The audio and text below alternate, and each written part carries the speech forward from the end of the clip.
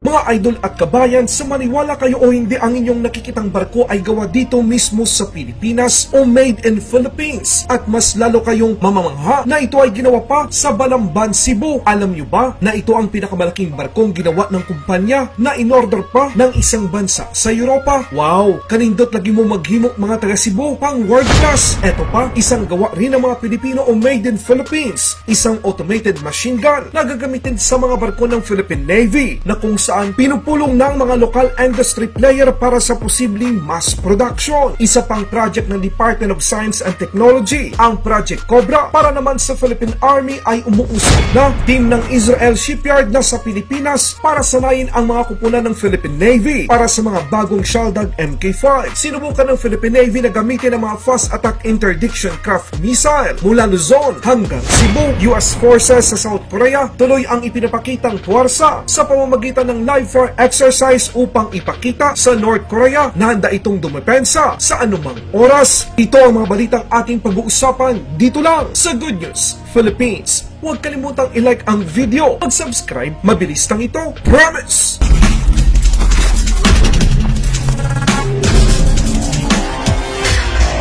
Ang Ostal Philippines ay naglunsad ng isang high-speed na barko na pinakamalaking ferry na ginawa ng isang Ostal shipyard sa buong mundo para sa isang kumpanya ng Denmark. Ang 115-meter passenger ferry na Express 5 ay ligtas na naihatid sa floating dock ng Ostal Philippines dito mismo sa Pilipinas. Ang Ostal Express 5 para sa Målslingen ng Denmark ay inilabas mula sa John Ratwell Assembly Bay sa Ostal Philippines sa Balamban, Cebu. Tama ang inyong narinig mga idol at kabayan. Ito po ay gawa sa Cebu at maituturing natin na isang made in Philippines. Ito ang patunay na pagdating sa talino at galing. Dagdagan mo pa ng sipag, laging angat tayong mga Pilipino. Sabihin man natin na ang Ostal ay isang Australian company na namumuhunan at nagdinegosyo dito sa bansa bilang isang shipbuilder. Ngunit ang malaking bilang ng mga manggagawang Pilipino na nagtatrabaho sa kumpanya ay siyang maituturing na asset ng Ostal. Bakit sila naging matagumpay? Sa katunayan ayon sa inilabas na datos noong 2019, halos nasa siyam na raang mga Filipino engineers, design staff, skilled laborers at production trade persons ang nagtatrabaho sa Austin, Philippines. At sa panahon na iyon, 78%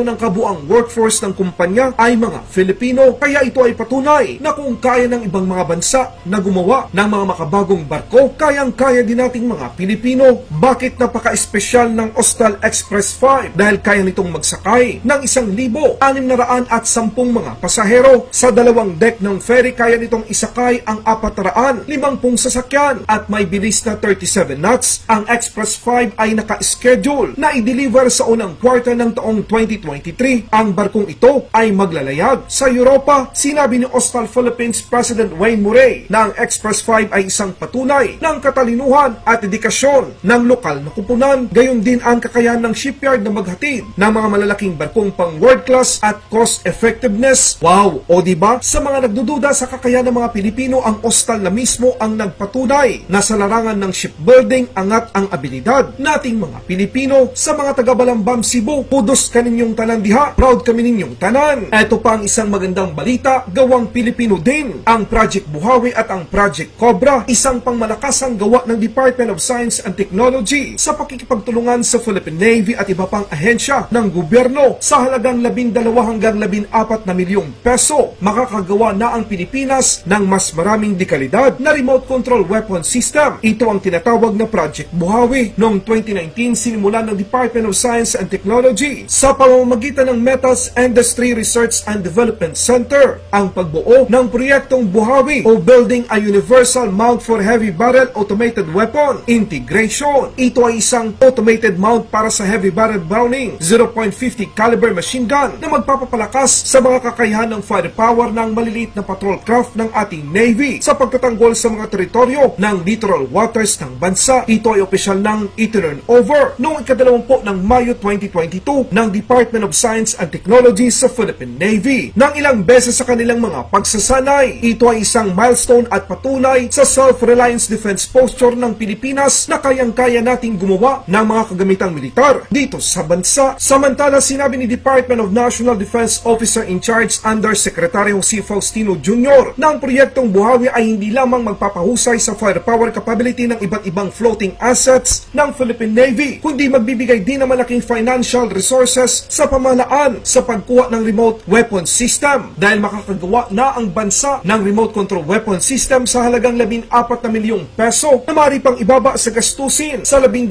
milyong peso kung mas marami ang gagawin kung ikukumpara sa mga imported technologies na umaabot sa humigit kumulang 24 na milyong peso bawat isa. Iniharap din sa nasabing kaganapan ng isa pang proyekto ng Department of Science and Technology sa pagkakataong ito kasama ang Philippine Army na tinatawag na Controller Operated Battle Ready Armament o COBRA. Sinabi ni Engineer Rodnel Tamayo, hepe ng Prototyping Division ng DOST at project leader ng COBRA, ipinaliwanag na ang teknolohiyang ito ay magpapahusay sa firepower capability ng armored vehicles ng Philippine Army sa pamamagitan ng disenyo at pagsama-sama ng isang .50 caliber remote-controlled weapon station. Ang Project Cobra ay may gun mount na may built-in na control system at shielded housing pati na rin ang weapon console at power system. Nagkaroon din ng dialogo ang mga stakeholders sa Project Buhawi upang matukoy ang paraan ng pagsulong sa proseso ng pagdipat ng teknolohiya sa konsultasyon at pakikilahok ng mga nangungunang gumagawa ng disenyo sa Department of Science and Technology at Department of National Defense at mga industry players na maring mag-manufacture ng mga unit ng Project Buhawi. Sa ibang balita naman, Israel na sa Pilipinas upang tulungan ang hukbong dagat ng Pilipinas na pausayin pa ang kanilang kaalaman sa pag-operate at pagpapanatili ang dalawang pinakabagong Shaldag Mk5 bilang fast attack interdiction craft missile ng Pilipinas. 43 estudyante ang nagtapos na binubuo ng 11 officers at 32 enlisted personnel mula sa crew ng PG-901 at PG-902 sa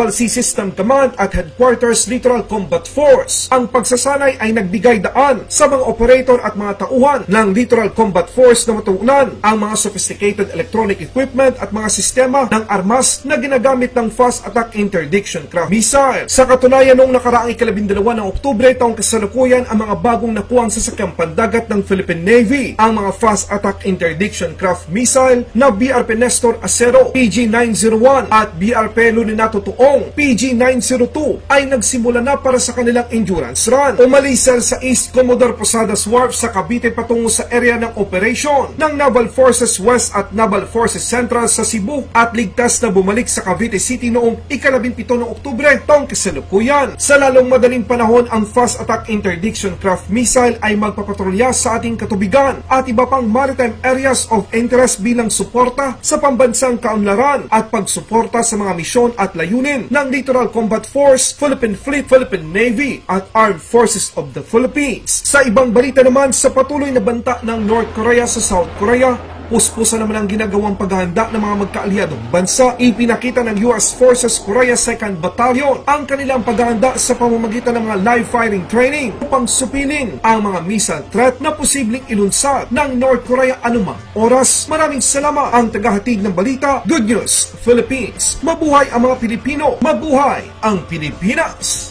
Laban Pinas